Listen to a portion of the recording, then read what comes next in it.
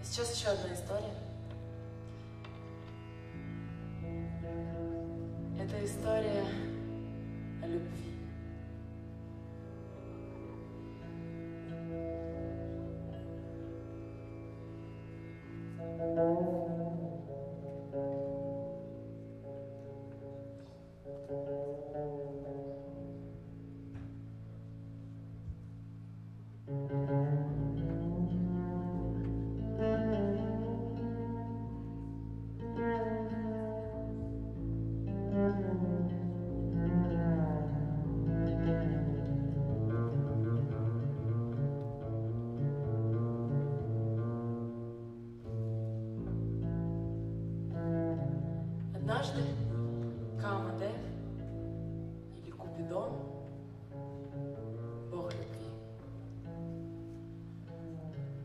Возгордившись своим положением того, что весь мир находится под его влиянием, увидел как-то, что один мудрец на Радамуне абсолютно равнодушен противоположному полу. И он подумал, что непорядок, нужно это исправить. Он было уже прицелился для того, чтобы вы, выпустить свою стрелу. Но Нара Дамуни это не простой мудрец, он очень хитрый и разумный. Он обратился к Камадеву, «О, Кама, что тебе от того, если какой-то монах вдруг влюбится в кого-то. Это не принесет тебе никакой славы. Вот если ты поразишь своей стрелой самого Бога, трансцендентного Бога любви, изначального Бога любви Кришны, тогда слава о тебе разнесется по всем трем мирам. И Камадев сказал, да, действительно, ты прав. Почему бы и нет?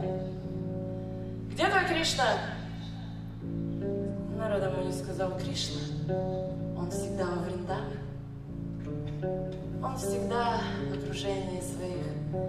вечных спутниц Гопи танцует танец любви.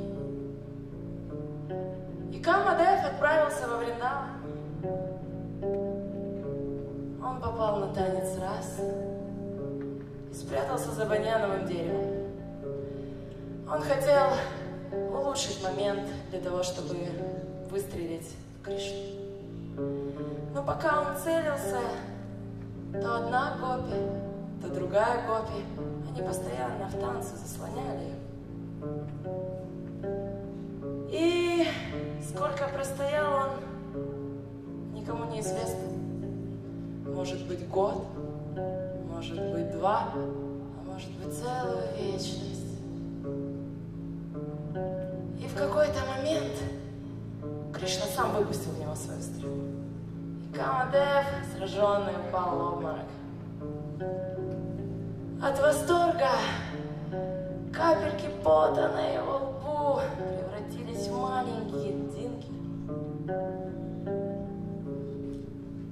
Но это еще не вся история. С тех самых пор во Вриндаване Кришну называют Маданамахан, тот, кто пленяет самого Бога любви, самого Купидона. Но есть еще одна особа, которую также называют Маданамахана Махи. И это Радхана, внутренняя энергия любви.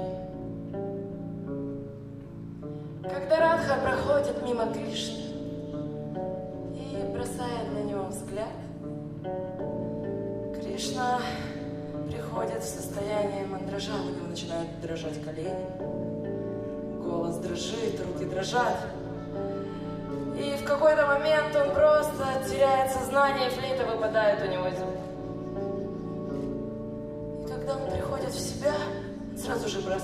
хватает флейту и начинает играть, но не сразу понимает, что флейта... флейты в руках нет. И мудрецы говорят,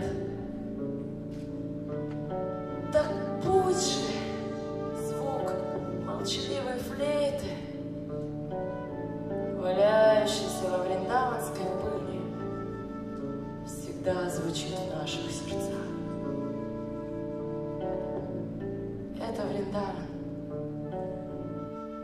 Место, где нет зависти. Место, где царит любовь.